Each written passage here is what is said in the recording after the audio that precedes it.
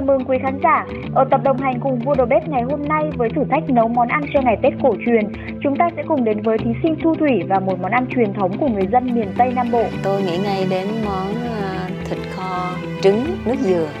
Thường thì cái món đấy ở miền Nam ngày Tết nhà nào cũng có.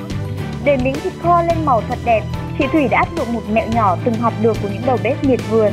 Cái cái cái kỹ thuật mà trà chanh lên mỡ đấy thì xưa giờ ở quê các cái bà thợ nấu vẫn làm để cho cái miếng mỡ nó trong.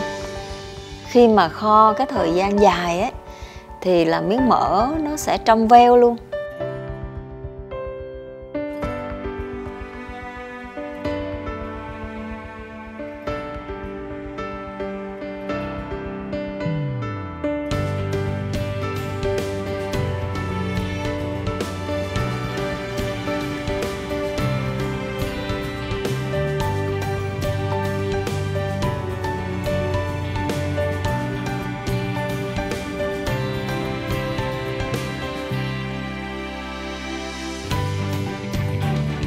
Khi mà tôi nghĩ tới cái món thịt kho à, nước dừa thì tôi nghĩ ngay là phải ăn kèm với dưa giá nếu không là sẽ ngán lắm.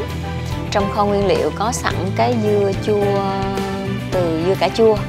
Tôi mới lấy thêm hẹ và thêm một ít một cái củ cà rốt sắc sợi ra và trộn chung với hẹ và cái ờ, dưa chua đấy.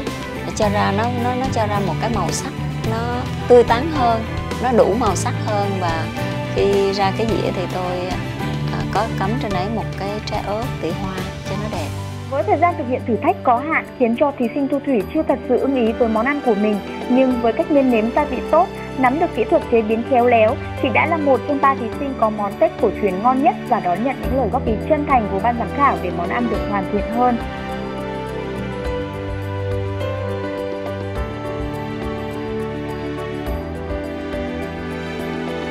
Cái món này của chị thì anh nghĩ rằng là nó hơi bị chua một tí, vị chua của nước dừa. Nhưng mà về màu sắc của món ăn của chị thì thật là đẹp. Anh chúc mừng chị với món này. Vâng.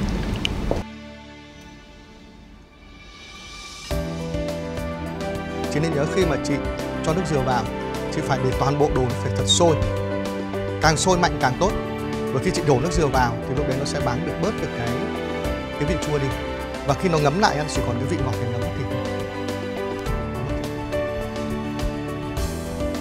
Hôm nay khi mà được à, giám khảo chấm là một trong ba thí sinh có món ăn về tết cổ truyền ngon nhất thì tôi cảm thấy cũng vui.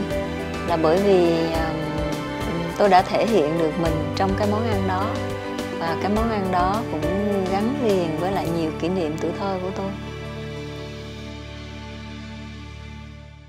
Mời quý vị và các bạn đón xem tập 7 Vua Đầu Bếp Việt Nam phát sóng 20 giờ ngày 30 tháng 8 năm 2014 và các tập đồng hành cùng Vua Đầu Bếp phát sóng 13 giờ 55 hàng ngày trên VTV3.